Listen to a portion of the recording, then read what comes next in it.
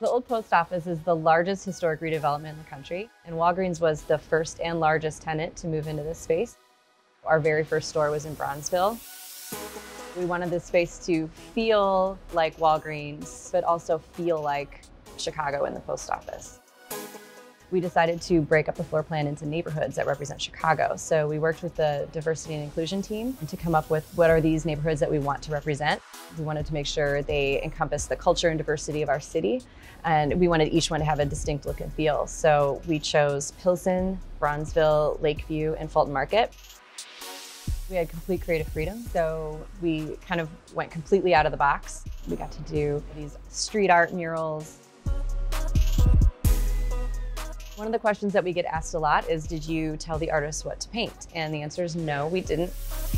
There was a reason why we chose each of these artists. They all have this very unique individual style. We didn't want to hinder that creativity.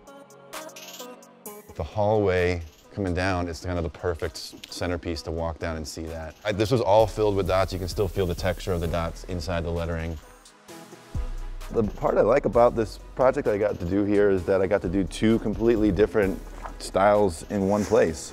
Show off some range from the dot piece to the kind of photo representational collage. We chose Joe Miller to do a mural right off the lobby. It's more of a black and white representation of the history of Walgreens all the way to the future of Walgreens. Nate does these really unique and really cool, abstract, almost 2D cityscapes. I presented the idea for a Lakeview mural as a kind of a map view. There's Clark Street here, and uh, there's a Lakeshore Drive over here, and the shoreline, the marina. I make murals that are reflective of city living.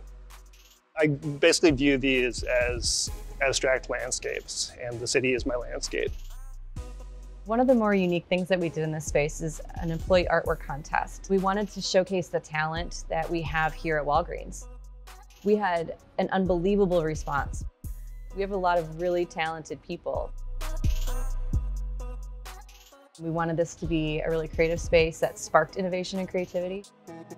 I like the idea that they'll be sitting in their cubicles and they can spend a lot of time looking at my mural. The pop of color will add to the atmosphere and it'll just make it a more interesting and beautiful place to work.